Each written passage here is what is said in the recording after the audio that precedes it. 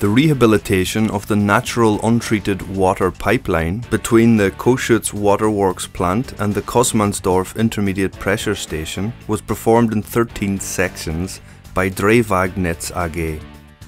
The 400 meter long rehabilitation section between Windbergstrasse and the Karlsruher Straße Kohlenstrasse junction was carried out with a pressure hose. To implement the project, the company Pfaffinger designed and constructed a total of six access pits for equipment positioning and liner insertion. The contractor secured the access pits with steel plates. This way the traffic could be maintained through the entire construction period. This was a requirement by the traffic authority. A company specialising in concrete core cutting opened the 70 year old concrete pipe with crosscuts the cutout sections within the 1200mm concrete pipe were closed later on with specially developed liner couplings and the intermediate sections were reconnected with steel pipes. In total, the project involved rehabilitating five individual sections varying in lengths of 60 to 105 metres.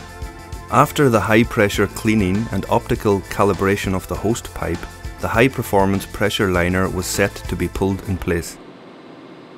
A cable winch pulled the liner into the host pipe. The host pipe only serves to guide and shape the liner, compensating the inflation forces. This type of high performance liner is a structural self supporting liner, being able to withstand internal and external loads. A glide foil was installed prior to the insertion of the liner, minimizing friction and reducing the pull in force.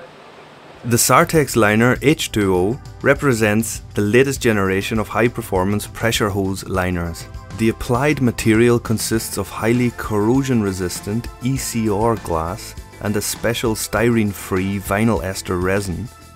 After curing, the resin impregnated glass fibre laminate provides a superior high strength at minimal wall thicknesses.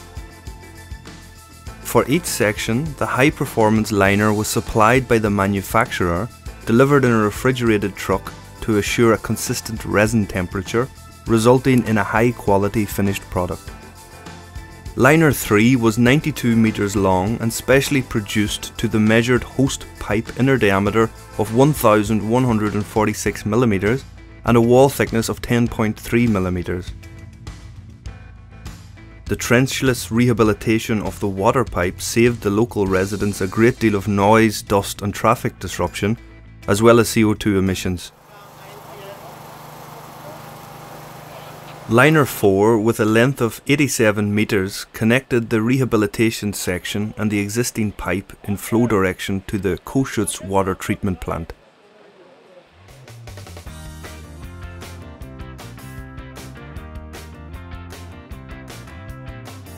In the next step, the air pressure for the liner was increased until it reached the specified inflation pressure until the liner was fully adapted to the host pipe. The experts then sealed off the liner with so-called packers. The light train consisting of three units of lights, each with four UV lamps, the so-called triple core, was inserted into the liner via an airlock, air sluice. In the initial phase, to build up the liner, the air pressure in the airlock air sluice was only at max 50 millibar.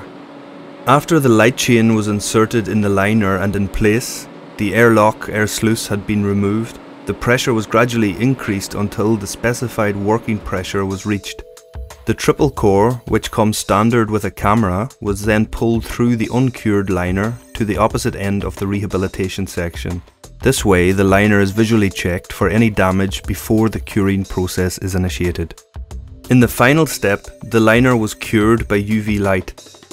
The UV light train was pulled through the inflated pressure liner at a speed of 30 centimeters per minute, triggering an exothermic reaction. This reaction completely cured the resin, turning the flexible hose liner into a new pipe.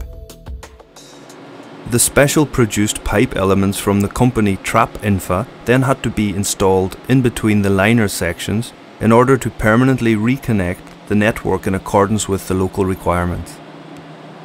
The pipe elements were EKB powder coated that is approved for potable water application and provides a long service life. After the work had been completed, the construction site had to be restored to its original condition.